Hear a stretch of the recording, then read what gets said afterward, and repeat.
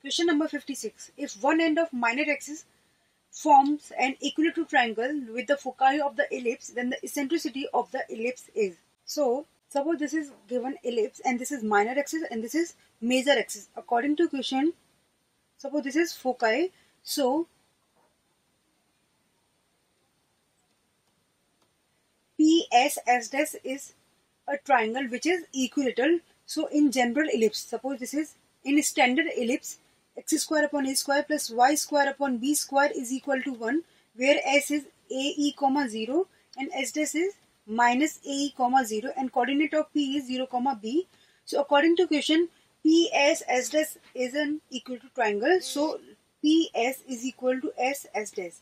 So length ps whole square is equal to s s dash whole square. Now ps square is equal to a square e square plus b square is equal to 4 a square e square.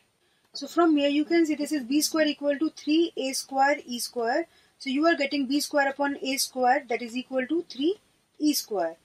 Now question is asking eccentricity. So eccentricity is e is equal to 1 minus b square upon a square square root. So from here you can see e square is equal to 1 minus b square upon a square which is equal to 3e square. So from here you can see 4e square is 1. So e square is equal to 1 by 4. So from here you are getting e equal to plus minus half. So e cannot be negative. So e is equal to half. So option number 1 is your correct answer. Now move on next question. Question number 57. The length of the latus rectum of the conic 4x square minus 9y square is equal to 16 is. It is very simple question this is hyperbola so which is x square upon 4 minus y square divided by 16 by 9 is equal to 1 so length of latus rectum is equal to 2b square that is 16 upon 9 into 1 upon a that is 2 which is equal to 16 by 9 so option number 3 is your correct answer. Question number 58 origin is an interior point of an ellipse whose foci are 4 comma minus 4 and minus 3 comma minus 3 then eccentricity of ellipse cannot be. So according to question origin is an interior point of any ellipse. Suppose this is any general ellipse its foci is 4 comma minus 4 and this is minus 3 comma minus 3. I am taking randomly all the points.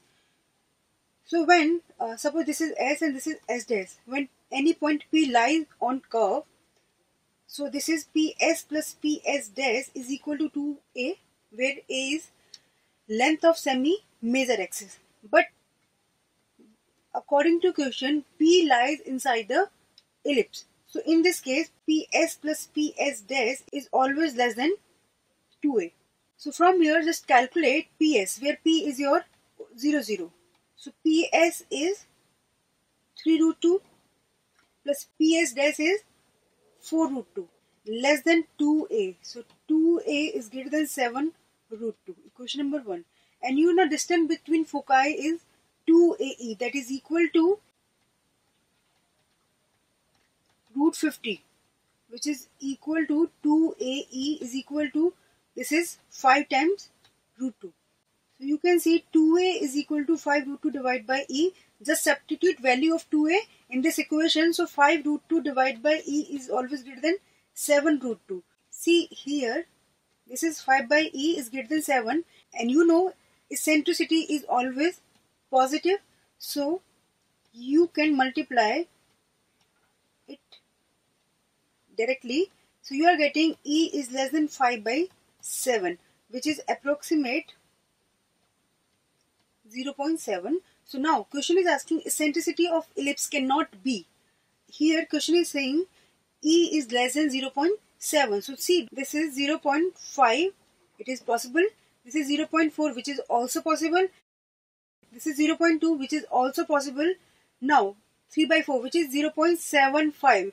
So according to question this is not possible. So this cannot be your eccentricity. So option number 3 is your correct answer. Now move on next question. Question number 59. If coordinate axis is rotated by pi by 3 counterclockwise then eccentricity of the hyperbola xy is equal to 3 will become. And you know when any curve is rotated by any angle then its eccentricity doesn't change. So eccentricity of this hyperbola is root 2. So after rotating, its eccentricity is also root 2. So option number 1 is your correct answer. Now move on next question. Question number 16. Consider a line L ax plus by plus c is equal to 0 where a, b, c are second, fifth and seventh terms of a non-constant AP. So just let there is an AP whose first term is A and common difference is capital D.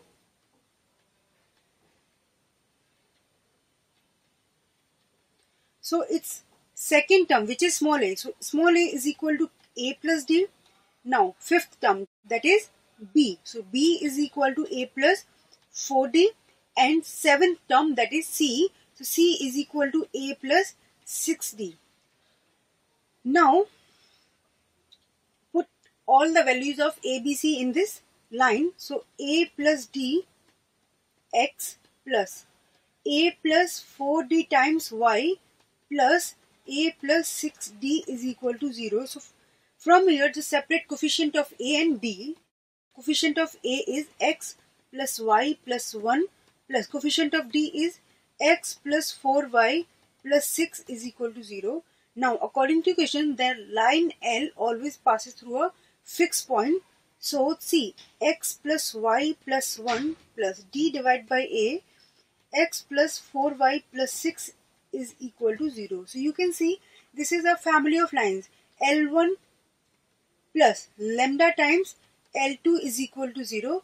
So this family of line will pass through always intersection point of L1 and L2. So just calculate intersection point of L1 and L2 which is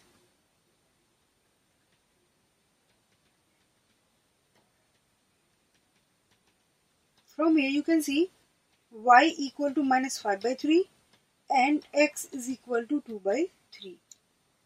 So option number 3 is your correct answer. Now move on next question.